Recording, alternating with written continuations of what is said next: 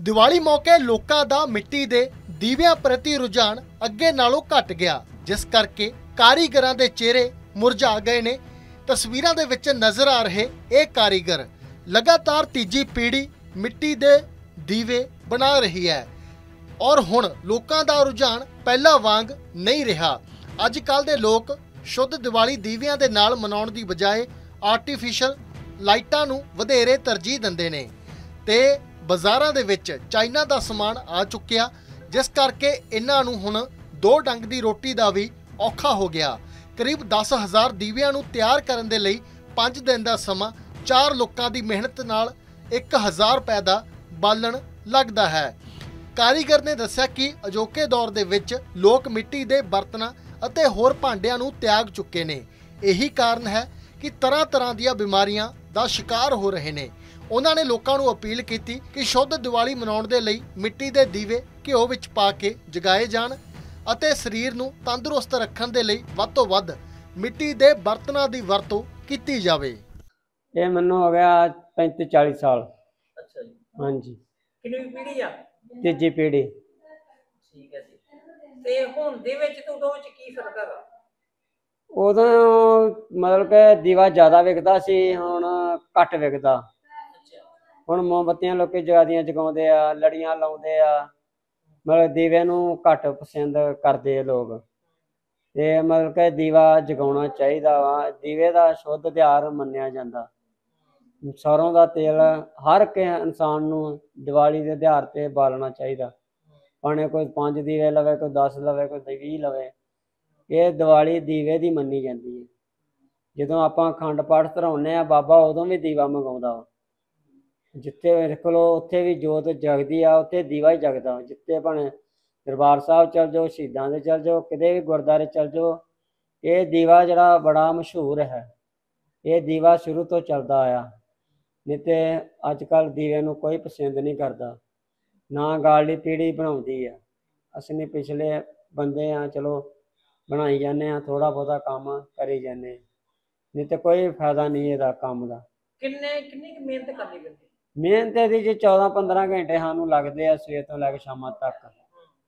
ਤੇ ਫੇਰ ਅਸੀਂ ਸਾਨੂੰ ਰੋਟੀ ਨਹੀਂ ਖਾਣੀ ਮਿਲਦੀ, ਪਰ ਲੋਕੀ ਮੁੱਲ ਨਹੀਂ ਭਰਦੇ ਦੀਵੇ ਦਾ। ਆਖ ਦਿੰਦੇ, ਇੰਨਾ ਮਹਿੰਗਾ ਇੰਨਾ ਮਹਿੰਗਾ ਕੀਤਾ, ਅਸੀਂ 3 ਰੁਪਏ ਦੀ ਪਾਥੀ ਲੈ ਕੇ ਦੀਵਾ ਪਕਾਉਂਦੇ ਤੇ ਇੱਕ ਭੱਠੀ ਪਾ ਦਈਏ ਤੇ 1000 ਰੁਪਏ ਦੀ ਪਾਥੀ ਪਾਉਂਦੀ 10000 ਦੀਵਾ ਪਕਾਉਣਾ ਤੇ 1000 ਰੁਪਏ ਦੀ ਪਾਥੀ ਪੈਣੀ ਹੈ।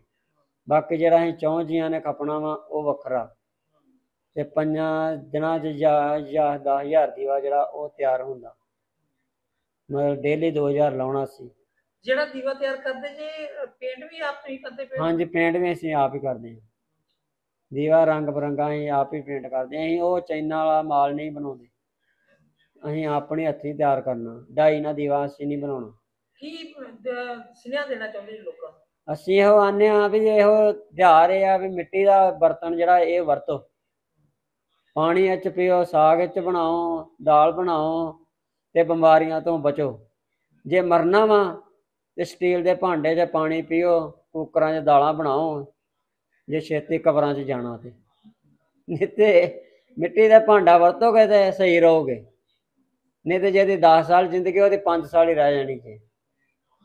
ਇਹ ਸਾਡਾ ਮੈਸੇਜ ਹੈ, ਸਾਰਿਆਂ ਨੂੰ ਦਿੱਤਾ ਜਾਵੇ, ਭੈਣਾਂ ਭਰਾਵਾਂ ਨੂੰ, ਘੜੇ ਦੇ ਵਿੱਚ ਪਾਣੀ ਪੀਓ, ਫਰਿੱਜਾਂ ਛੱਡੋ। ਲੋਕੀ ਆਖ ਦਿੰਦੇ ਅਸੀਂ 30 30 ਲੱਖ ਦੀ ਗੱਡੀ ਲਈ ਫਿਰਦੇ ਆ। ਇੱਕ ਮਿਆਰ ਦਾ ਭਾਂਡਾ ਬਣਿਆ ਬੰਦੇ ਨੇ 30 ਰੁਪਈਆਂ ਦੇ ਇਹਦੇ ਵਿੱਚ ਪੈ ਜਾਣਾ। ਤੇ ਤੁਸੀਂ ਇਹਨਾਂ ਗੱਲਾਂ ਨੂੰ ਛੱਡੋ ਤੇ ਫਰਿੱਜਾਂ ਨੂੰ ਵੀ ਛੱਡੋ ਤੇ ਗੱਡੀਆਂ ਨੂੰ ਵੀ ਛੱਡੋ ਤੇ ਮਿੱਟੀ ਦੇ ਭਾਂਡੇ ਦਾ ਇਸਤੇਮਾਲ ਕਰੋ। ਮਿਹਨਤ ਭਾਜੀ ਕਾਫੀ ਕਰਨੀ ਪੈਂਦੀ ਹੈ ਸਾਨੂੰ ਤੇ ਬਹੁਤ ਜ਼ਿਆਦਾ। ਹਾਂਜੀ। ਸਾਰਾ ਪਰਿਵਾਰ ਹੀ ਕੰਮ ਕਰਦਾ ਹੈ? ਹਾਂਜੀ ਸਾਰਾ ਪਰਿਵਾਰ ਹੀ। ਤੇ ਕਿੰਨਾ ਖਰਚਾ ਆ ਜਾਂਦਾ? ਖਰਚਾ ਭਾਜੀ ਕਾਫੀ ਆ ਜਾਂਦਾ ਜੀ ਹੁਣ। ਹਮ। ਹਾਂਜੀ ਖਰਚਾ ਬਸ ਹਿਸਾਬ ਨਹੀਂ ਹੈਗਾ। ਗਿਣਤੀ ਨਹੀਂ ਖਰਚੇ ਹੈਗੀ ਤੇ। ਕਿੰਨਾ ਕਿੰਨੇ ਵਜੇ ਉੱਠਦੇ? ਅਸੀਂ ਤਿੰਨ ਵਜੇ ਉੱਠਦੇ ਭਾਜੀ। ਅੱਛਾ। ਹਾਂਜੀ। ਤੇ ਕਿੰਨੇ ਵਜੇ ਤੱਕ ਕੰਮ ਕਰਦੇ? ਕੰਮ 7 ਵਜੇ ਤੱਕ ਕਰਨਾ ਰਾਤ ਦੇ 7 ਵਜੇ ਤੱਕ। ਅੱਛਾ। ਹਾਂਜੀ ਸਾਰੇ ਲੱਗੇ ਰਹਿਣਾ ਇਦਾਂ ਹੀ। ਤੇ ਦਿਹਾੜੀ ਕਿੰਨੀ ਕੁ ਪੈਂਦੀ? ਜੇ ਦੱਸਣੇ ਤੁਹਾਨੂੰ ਜਿੰਨੀ ਹੈਗੀ ਉਨੀ ਪੈਣੀ 300 ਦਿਹਾੜੀ ਉਹ ਕਿੰਨੀ ਪੈਣੀ ਸਾਨੂੰ ਮੇਰੇ ਤੇ ਲੋਕੀ ਜਿਹੜੇ ਮੋਮਬੱਤੀਆਂ ਬਾਲਦੇ ਉਹਨਾਂ ਨੂੰ ਕੀ ਕਹਿਣਾ ਚਾਹੁੰਦੇ? ਇਹ ਕਹਿਣਾ ਚਾਹੁੰਦੇ ਮੋਮਬੱਤੀ ਛੱਡੋ। ਦੀਵੇ ਤੇਲ ਪਾਓ ਦੀਵਾ ਬਾਲੋ। ਇਹਦੇ ਨਾਲ ਕੀ ਸ਼ੋਧਤਾ ਹੈ? ਸਗਨ ਹੁੰਦਾ ਭਾਜੀ ਇਹਦੇ ਨਾਲ ਦੀਵੇ ਨਾਲ ਤੇ। ਹਾਂਜੀ ਦੀਵਾ ਜਗਾਉਣ ਦੀਵੇ ਸਗਨ ਪੂਰਾ ਹੁੰਦਾ ਵਾ। ਇਹ ਥੋੜਾ ਵੀ ਮੋਤੀ ਬਾਲ ਲੀਆਂ ਆਪਾਂ ਚੈਨਲ ਦੀਵੇ ਬਾਲ ਲੈਣੇ ਆ। ਆਪਾਂ ਕੋਈ ਦੀਵੇ ਬਾਲੇ ਇਹ ਦੀਵੇ ਬਾਲੋ ਤੇਲ ਪਾਓ ਵਿੱਚ ਦੇ ਇਹਨੂੰ ਜਗਾਓ ਤੇ ਦੀਵਾਲੀ ਮਨਾਓ ਇਹਦੇ ਨਾਲ। ਸਰਕਾਰ ਤੋਂ ਕੀ ਮੰਗ ਕਰਦੇ? ਸਰਕਾਰ ਤੋਂ ਮੰਗ ਆਏਗੀ ਅਸੀਂ ਕਹਿੰਦੇ ਸ਼ੈੱਡ ਪਾ ਦਿਓ ਸਾਨੂੰ ਹੋਰ ਕੀ ਮੰਗ ਕਰਨੀ ਭਾਜੀ ਸਰਕਾਰ ਤੋਂ? ਮੀਂਹ ਪਾਣੀ ਸਹੂਲਤ ਮਿਲ ਜੇ ਹਾਂ ਜਿਹੜਾ ਮੀਂਹ ਪੈਂਦਾ ਸਾਡੇ ਭਾਂਡੇ ਨਾ ਖਰਾਬ ਹੋਣ ਇਹ ਸਹੂਲਤ ਇਹੋ ਮੰਗ ਸ਼ੈੱਡ ਪੈਣੀ ਚਾਹੀਦੀ ਸਾਡੀ। ਹੁਣ ਨਾ ਕੋਈ ਬੱਚਿਆਂ ਨੂੰ ਸਹੂਲਤ ਹੈਗੀ ਸਾਡਿਆਂ ਨੂੰ ਤੇ ਨਾ ਸਾਨੂੰ ਸਹੂਲਤ ਕੋਈ ਹੈਗੀ ਜੇ ਬੱਚੇ ਸਾਡੇ ਦਿਹਾੜੀ ਕਰਦੇ ਵਿਚਾਰੇ ਉਹ। ਤੁਹਾਡੀ ਜਿਹੜੀ ਬੱਚੇ ਆ ਗਾਂ ਇਸ ਕੰਮ 'ਚ ਪੈਣਾ ਚਾਹੁੰਦੇ ਕਿ ਨਹੀਂ? ਨਹੀਂ ਭਾਈ ਉਹ ਨਹੀਂ ਪੈਣਾ ਚਾਹੁੰਦੇ। ਕਿਉਂ? ਨਹੀਂ ਕਹਿੰਦੇ ਸਾਡੇ ਦਿਹਾੜੀ ਕਰ ਸਕਦੇ ਆ ਇਹ ਕੰਮ ਸਾਡੇ ਕੋਲ ਹੁੰਦਾ। ਭਾਜੀ ਮਿਹਨਤ ਬੜੀ ਜੇ ਮਿੰਟੀ ਕੁੱਟਣੀ ਸੁਕਾਉਣੀ ਫਿਰ ਇਹਨੂੰ ਛਾਨਣਾ ਇਹਨੂੰ ਅਸੀਂ। ਛਾਣ ਕੇ ਫਿਰ ਇਹਨੂੰ ਅਸੀਂ ਬਰੀ ਰੋਡ ਵੱਖਰੇ ਕਰਨੇ ਵੀ ਬਰੀਕ ਮਿੱਟੀ ਵੱਖਰੀ ਕਰਨੀ ਕਰਕੇ ਫਿਰ ਪਾਣੀ ਪਾਉਣਾ ਭਾਂਡੇ 'ਚ ਮਿੱਟੀ ਪਾਉਣੀ ਫਿਰ ਪਾਣੀ ਪਾ ਕੇ ਇਹਨੂੰ ਫਿਰ ਅਸੀਂ ਉਹਦੇ ਗੋਲ ਕਰਕੇ ਉਹਦੇ 'ਚ ਭੁੰਨਣਾ ਵਾ ਮਿੱਟੀ ਨੂੰ। ਫਿਰ ਥੋਬੇ ਬਣਾਉਣੇ ਇਹਦੇ ਭਾਜੀ ਇਹਦੇ ਥੋਬੇ ਬਣਾ ਕੇ ਫਿਰ ਇਹਨਾਂ ਨੇ ਪੈਰਾਂ ਨਾਲ ਮਲਣਾ ਇਹਨੂੰ ਪੈਰਾਂ ਨਾਲ ਮਲ ਕੇ ਫਿਰ ਇਹਨਾਂ ਨੇ ਥੋਬੇ ਦੇ ਬਣਾਉਣੇ ਇਹਨਾਂ ਨੇ। ਤੇ ਕੀ ਸੁਨੇਹਾ ਦੇਣਾ ਚਾਹੁੰਦੇ ਲੋਕਾਂ ਨੂੰ ਅੱਜ? ਇਸ ਨਾਲ ਹੋ ਜਾਣਾ ਚਾਹੁੰਦੇ ਆ ਵੀ ਜਿਹੜਾ ਕੰਮ ਆਪਣਾ ਘੁਮਿਆਰਵਾਜ ਕਰਦੇ ਆ ਉਹ ਵੀਰ ਮੇਰੇ ਘੁਮਿਆਰ ਕੰਮ ਕਰਨ ਤੇ ਅਸੀਂ ਇਹੋ ਮੰਗ ਕਰਦੇ ਵੀ ਆਪਣੇ ਇਹ ਕੰਮ ਨਾ ਛੱਡਣ। ਜਿੰਨਾ ਵੀ ਕਰਨਾ ਚਾਹੁੰਦੇ ਕਰਨ ਆਪਣਾ ਕੰਮ ਮਿੱਟੀ ਦਾ। ਮਿੱਟੀ ਦਾ ਦੀਵਾ ਬਾਲਣ ਆਪਣਾ ਤੇ ਭਾਂਡੇ ਮਿੱਟੀ ਜਿਹੜੇ ਬਣਦੀ ਰੋਟੀ ਪਾਣੀ ਖਾਣ ਆਪਾਂ ਬਣਾ ਕੇ ਸੀਲ ਭਾਵੇਂ ਛੱਡਣ।